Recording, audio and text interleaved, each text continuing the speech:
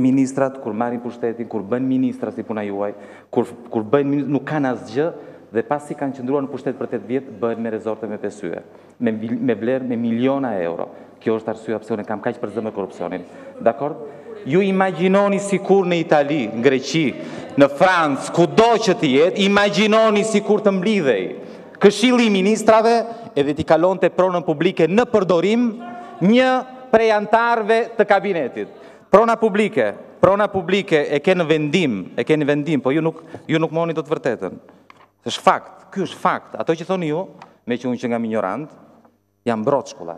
Kjo është fakt, kjo është dokument, është fakt. është VKM. është VKM.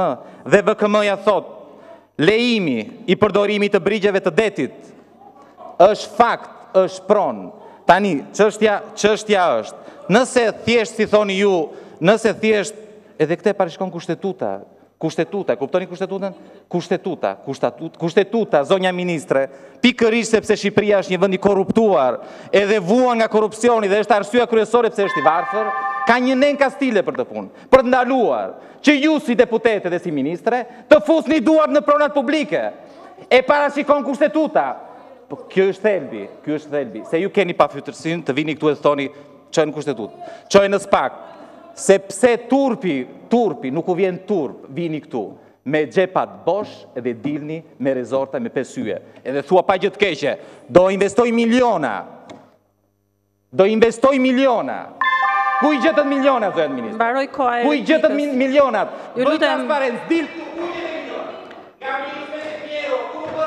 Mbaroi koha e replikës, uluni zoti Shehaj, uluni, vijojmë. Nuk ka turp më të madh se të vish këtu në padijen tënde, të hysh në këtë, të hysh në këtë parlament, duke paguar për mandatin e deputetit dhe ta blesh tekstin në politikë sot, duke mashtruar, duke shtrembruar dhe duke ngritur çështje që nuk qëndrojnë, Ju ftoj ta çoni çështjen në Gjykatë Kushtetuese.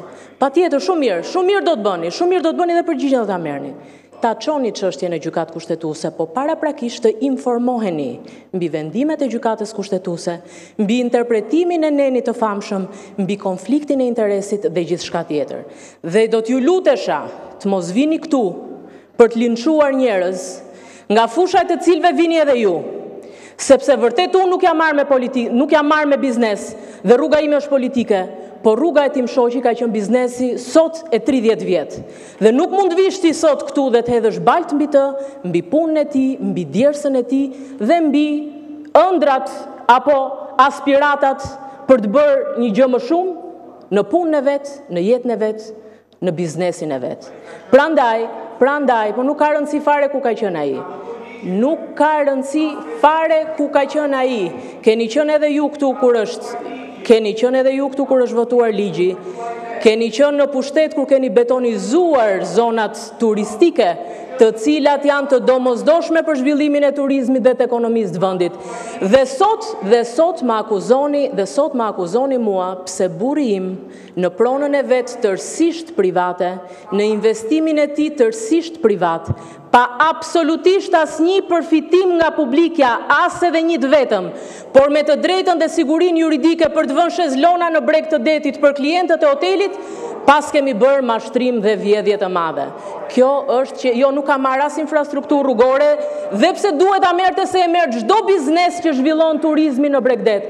As TVSH-në nuk e merr dhe sërish dua ta korrigjoj injorancën tuaj këtu, sepse TVSH-në e merr çdo strukturë hoteliere me apo pa status të investitorit strategjik dhe pastaj një reduktim më dhe një reduktim më tutje të asaj TVSH-së e marrin ata që kanë një brand name dhe nuk është ende rasti. Prandaj mos abuzoni me informacionin sepse është e turpshme Dhe është qesharake që nuk i bëni detyrat e shpisë përpara se të vini këtu dhe të merrni vëmendjen e të gjithëve dhe aq më keq vëmendjen e qytetarëve.